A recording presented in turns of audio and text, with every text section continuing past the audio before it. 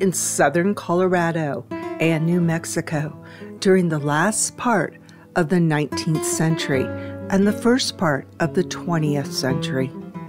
The death cart of the dead is a small cart built in the style of a historic ox cart of the region.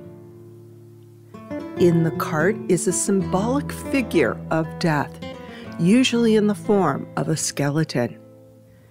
The cart was used in Good Friday reenactments of the Passion of Christ and was meant to remind sinners to be prepared because death was ever present.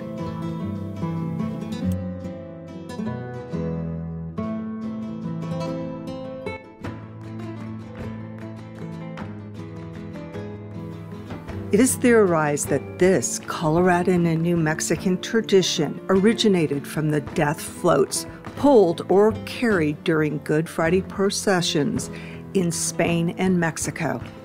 Spanish settlers introduced their middle aged death statues to the southwest of America in the late 1500s.